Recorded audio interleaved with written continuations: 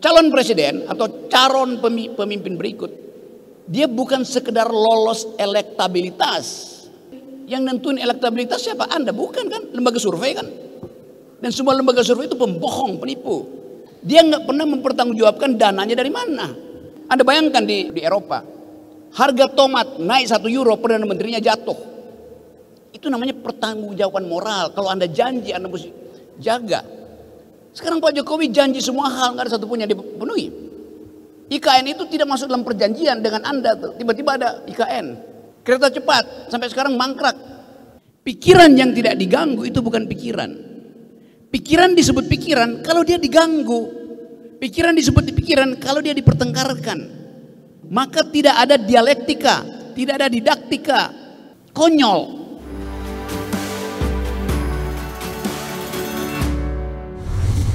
Oke, saya mau buka sesi tanya jawab dulu. Ini pasti banyak yang mau bertanya. Nah, kita persilakan. Uh, ini saya akan buka beberapa kloter ya. Untuk kloter pertama mungkin tiga penanya dulu. Oke, uh, terima kasih. Kita berbicara tentang Indonesia, kita memasuki tahun 2023. Masuki tahun politik. Karena nanti di Februari akan dilaksanakan proses peralihan kekuasaan. Pertanyaan-pertanyaan kepada Bung Rocky, kalau Bung Rocky hari ini bisa melihat siapa yang lebih cocok menjadi calon presiden di luar tiga yang sudah ada? Terima kasih. Bung Rocky sering berkata sopan santun itu adalah bahasa tubuh begitu. Uh, pikiran itu tidak memerlukan sopan santun. Pikiran yang disopan santunkan adalah sebuah kemunafikan begitu saya ingin bertanya bagaimana sebagai seorang mahasiswa yang memiliki aturan di kampus dan lain sebagainya, namun bisa dengan aman atau dengan bebas juga mengungkapkan apa yang ada di pikiran kita. Karena kalau tadi uh, kita kutip Bung Rocky sering bilang, pikiran itu tidak memerlukan uh, sopan santun begitu. Bagaimana cara kita uh, tetap aman dalam mengungkapkan apa ya pikiran kita tentang pendapat-pendapat uh, kita kayak gitu Bung Rocky. Terima kasih uh, saya berikan lagi. Eh, pertanyaan saya seperti apakah yang perlu kita ketahui kepada pemerintah supaya kita tahu pemerintah itu uh, melaksanakan tugasnya sudah mendapatkan A supaya kita berhak atau pantas memujinya. Terima kasih Bu. Mungkin untuk narasumber, mungkin dari Bung Rocky dulu. Oke, terima kasih. Yang capres belakangan ya, karena itu pertanyaan paling berbahaya nanti.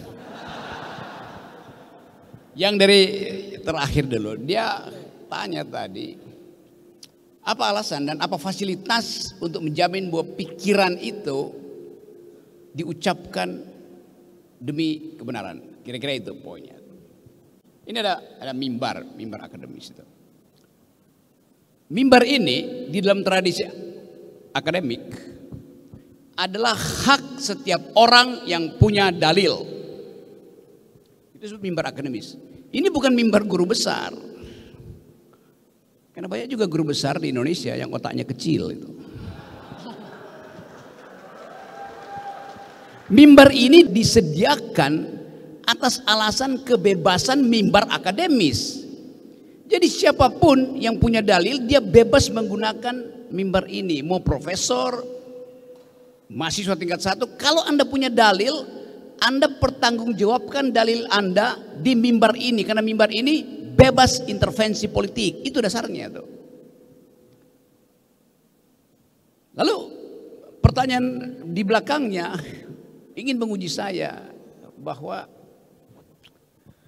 sering saya katakan bahwa tidak ada sopan santun atau bahkan tidak diperlukan sopan santun di dalam wilayah pikiran Sopan santun itu bahasa tubuh, bukan bahasa akal. Jadi ngapain Anda sopan santun di dalam pikiran? Sopan santun artinya minta untuk tidak diganggu karena hormat. Pikiran yang tidak diganggu itu bukan pikiran. Pikiran disebut pikiran kalau dia diganggu.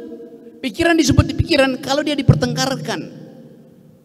Kalau saya ucapkan sesuatu, dan saya ucapkan dengan cara sopan, maka saya minta supaya pikiran saya jangan diganggu. Maka tidak ada dialektika, tidak ada didaktika. Konyol. Anda pikiran Anda harus sopan dan santun dong. Ngapain sopan dan santun? Itu artinya Anda tidak ingin pikiran Anda mengganggu orang lain. Padahal pikiran akademis dimaksudkan untuk diganggu. Anda nulis disertasi dan seumur hidup disertasi Anda Anda simpan di perpustakaan, nggak ada yang baca. Artinya tidak ada pertengkaran pikiran. Pikiran harusnya menghasilkan pertengkaran pikiran. Jadi nggak boleh sopan kalau berpikir. Bahasa tubuh kita sopan. Tapi jangan sampai pikirannya jadi sopan. Artinya pikiran itu tidak mau dikritik. Kekuasaan selalu bilang begitu. Kritik dengan sopan dong. Kritik dengan sopan artinya jangan kritik. Konyol. Bisa bedain ya. Jadi jangan pakai kesopanan di dalam berpikir. Di dalam komunikasi kita sopan. Tadi saya sengaja ucapin hal-hal yang tadi orang bilang, oh itu nggak sopan itu. Oh silahkan. Supaya menimbulkan kerusuhan. Pikiran dimaksudkan untuk menimbulkan kerusuhan. Anda jangan hormati pikiran. Anda tentang pikiran itu. Baru timbul didaktika. Pedagogi of thinking artinya do produce contradiction. Itu dasarnya. Nah, apa beda berpikir dan berdoa? Kalau Anda sedang berpikir, Anda harus diganggu. Kalau Anda sedang berdoa, Anda jangan diganggu. Jadi kalau nggak mau diganggu pikiran Anda, itu artinya Anda sedang berdoa.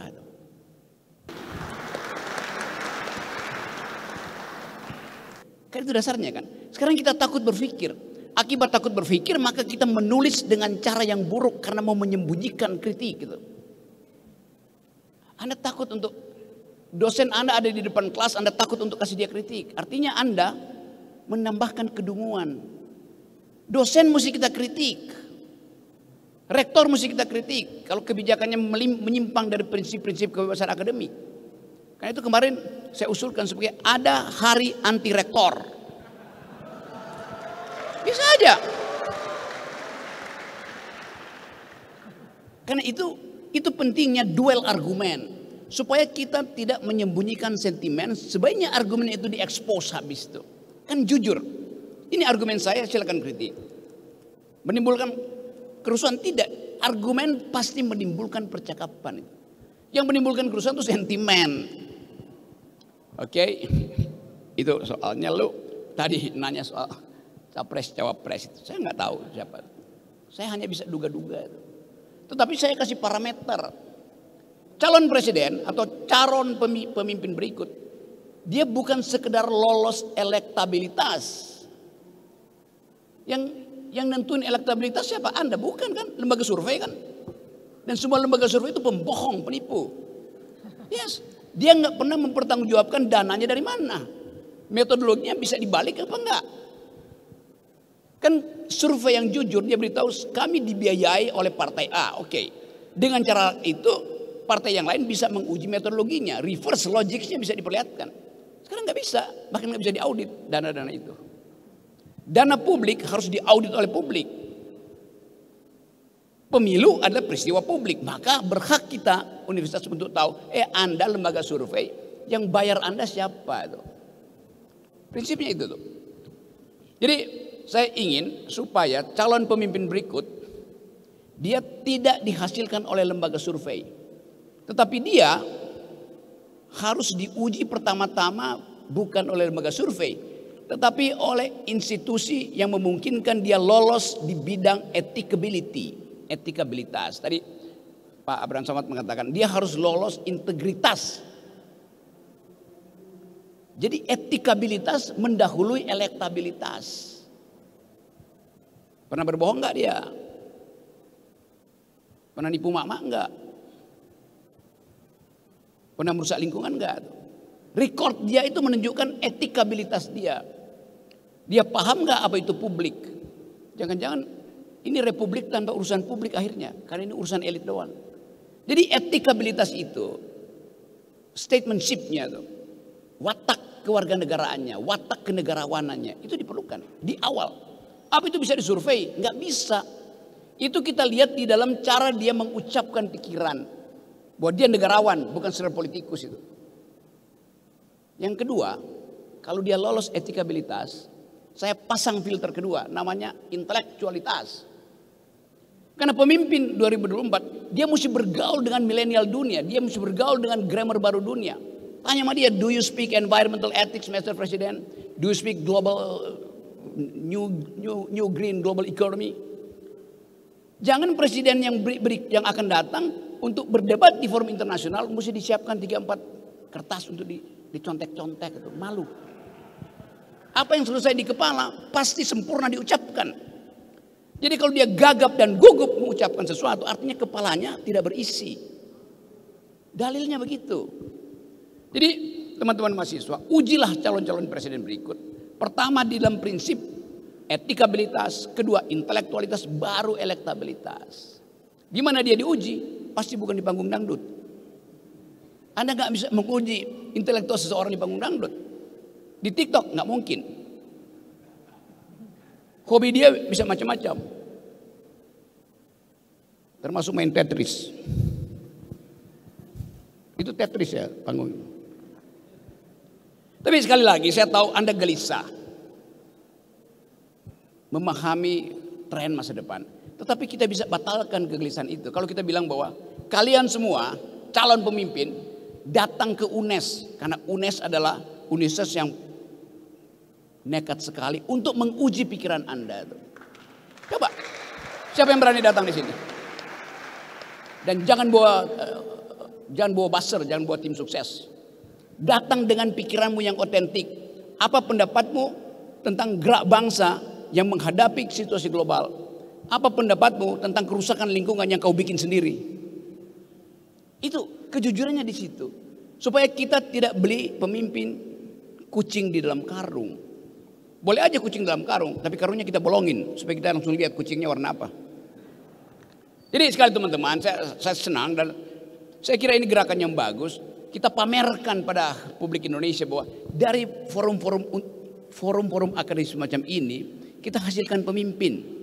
Udah betul inisiatif di awal di sini supaya rektor-rektor yang lain juga jangan baper kalau undang saya, undang Pak Samad itu nggak usah baper, biasa aja tuh. Nanti timbul kerusuhan, memang saya ingin rusuh. Membuat bangsa ini rusuh karena berpikir, bukan rusuh karena korupsi. Anda bayangkan Pak Samad betul, koruptor habis keluar dari dari penjara 20 tahun, 15 tahun.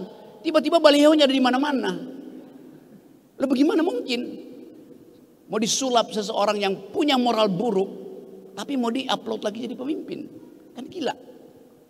Nah, kita belajar dari situ bahwa kampus mendidik dua hal, intelektualitas dan integritas.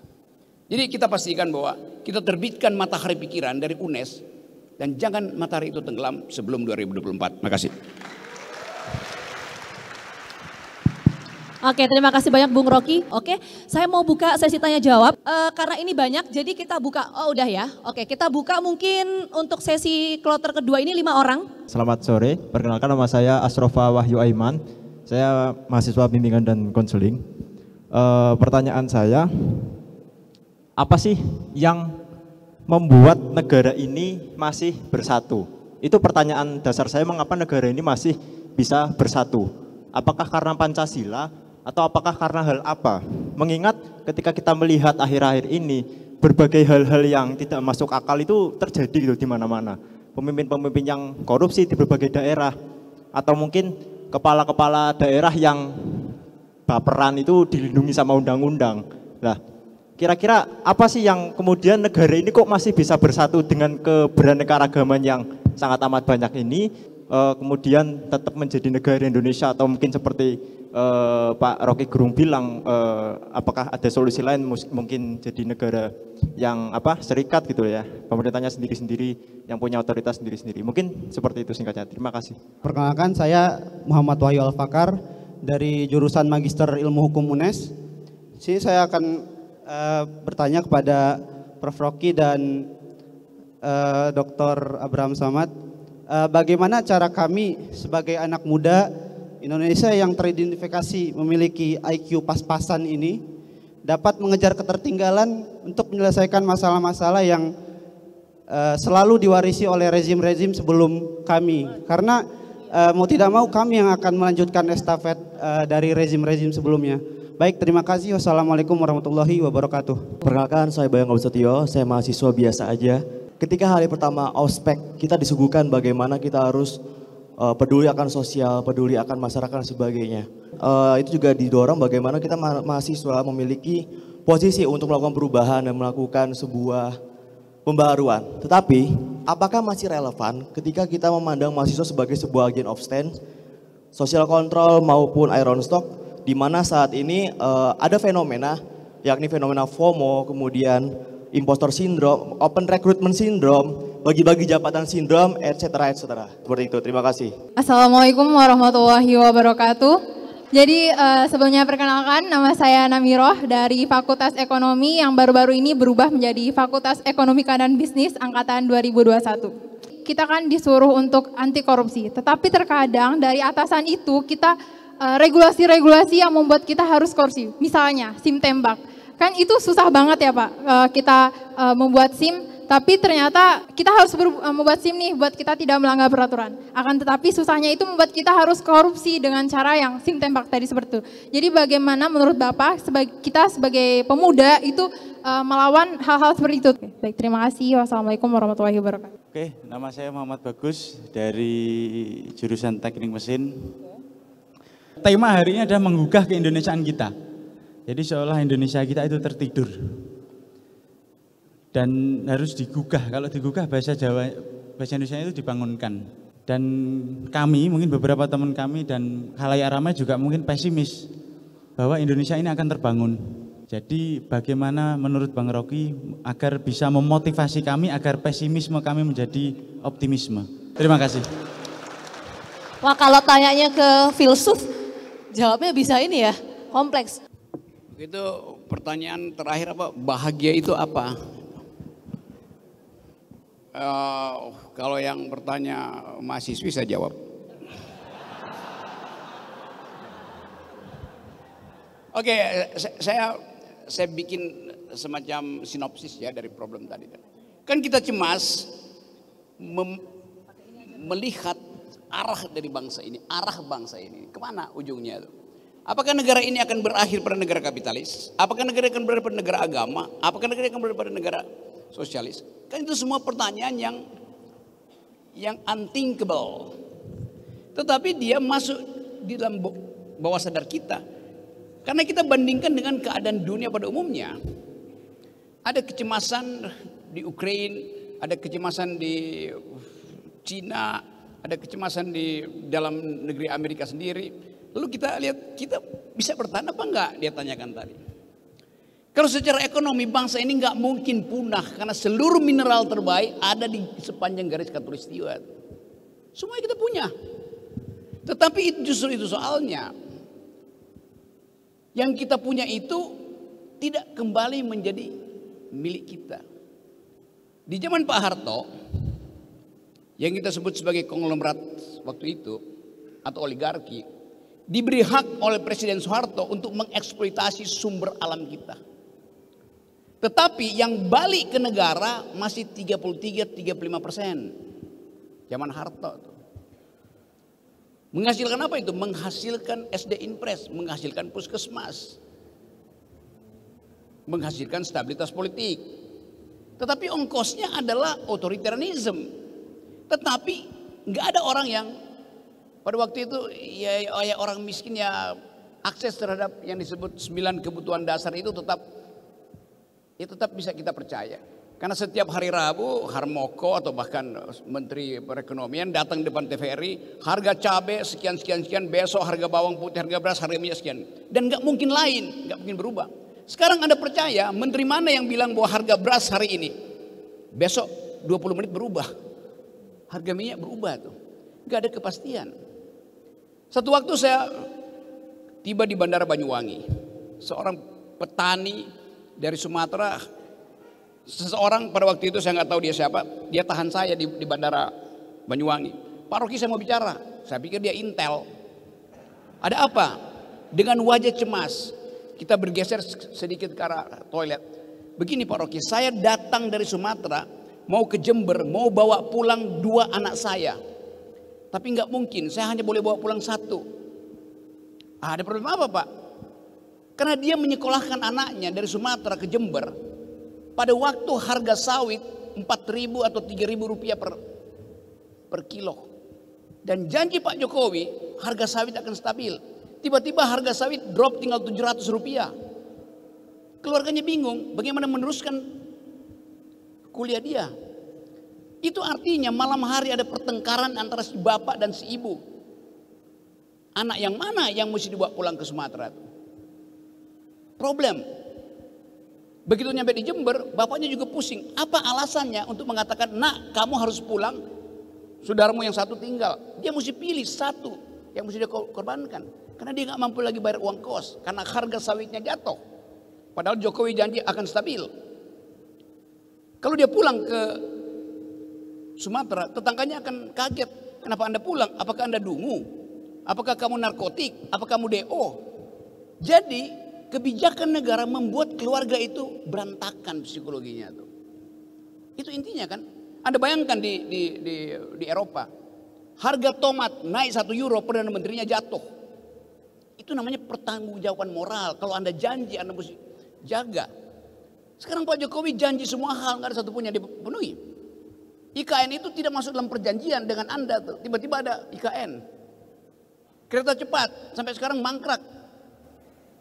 Tagihan Cina supaya Indonesia lakukan sendiri kenaikan ongkosnya dan bebannya itu ada pada suku bunga Cina yang tinggi, nggak bisa dinegokan tuh.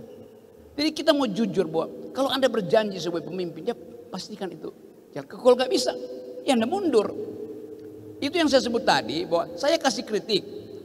Lalu presiden aparat bilang, Anda cuma kasih kritik Pak Rocky, solusinya apa? Anda kita gaji untuk cari solusi, dungu. Kan dia kita gaji. Masa nanya ke kita solusinya? Seluruh peralatan teknokratik ada di sana. Kita hanya beritahu bahwa Anda tidak memenuhi janji Anda. Solusinya apa? Ya turun. Ganti gampang kan? Tapi itu yang kita sebut mental kita itu rusak karena obsesi pada kekuasaan. Sehingga dalam soal korupsi pun, Anda bayangin korupsi sekarang. Tag lainnya, berani jujur itu hebat. Kurang ajar betul. Saya dosen dari dari hari ke hari jujur nggak nggak perlu dibilang hebat. Jadi seolah kejujuran itu harus diberi insentif, harus diberi honor. Nah semua kita jujur. Apa Ustadz nggak tersinggung dibilang berani jujur itu hebat? Dokter mesti tersinggung. Dia nggak dokter disumpah untuk tidak bohong pada pasien. Ustadz disumpah untuk memberi pengetahuan. Dosen jujur. Kenapa mesti taruh tagline berani jujur itu hebat? Karena kita miskin tentang kejujuran pada akhirnya kan. Sehingga hal yang normal mesti diberi hadiah. Ngapain mau jujur dikasih hadiah? Itu dasarnya kan. Jadi sekali lagi teman-teman, saya mau ucapkan itu sebagai upaya untuk memperlihatkan bahwa nasib kita ditentukan oleh prinsip kejujuran kita. Tadi saya teruskan tadi, selama Presiden Jokowi, sorry Presiden Soeharto, yang balik ke kita karena dieksploitasi masih 35 persen. Zaman SB turun 27 persen. Zaman Pak Jokowi tinggal 7 persen. Ke mana itu? Diparkir di Singapura. Ditaruh pakai main judi, main saham segala macam, dirampok petugas pajak. Sementara kita, kalangan akademisi, diminta untuk jangan memberi kritik. Apa nggak kurang ajar? Jadi sekali lagi, kalau ada oposisi oke, okay. ini nggak ada partai oposisi, sehingga saya mengambil alih fungsi itu. Ab Pak Abraham Samad mengambil alih fungsi itu. Un Universitas Negeri Semarang mengambil alih fungsi itu. Kita kan lagi beroposisi di sini sebetulnya. Buat mengucapkan alternatif pikiran. Jadi sekali lagi, ada prinsip yang mengatakan bahwa Politics is the art of the possible. Mereka belajar dulu politik. Politics artinya who gets what, when and how. Tetapi dalam keadaan tidak normal, politik bukan begitu. Kita ingin ada perubahan dan sering kali orang bilang nggak mungkin mahasiswa lakukan perubahan, nggak mungkin universitas lakukan perubahan, enggak. Politics is the art of attacking the impossible. Justru yang impossible itu yang menantang kita untuk kita buktikan. Jadi teman-teman sekali lagi, sering uh, mungkin uh, kadangkala saya harus sedikit memprovokasi supaya kita terbangun dari kelelahan berpikir. Jadi kebangsaan kita hari ini adalah kritik, kritik, kritik. Dan apa yang saya ucapkan tadi saya pertanggungjawabkan secara metodologis tuh. Seringkali saya ucapkan itu dengan fasilitas yang disebut tadi falsifikasi.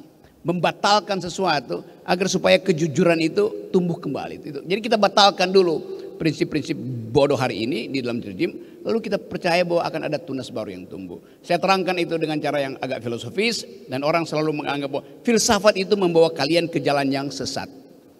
Tapi saya pastikan saudara akan tersesat di jalan yang benar. Baik. Ya, terima kasih banyak.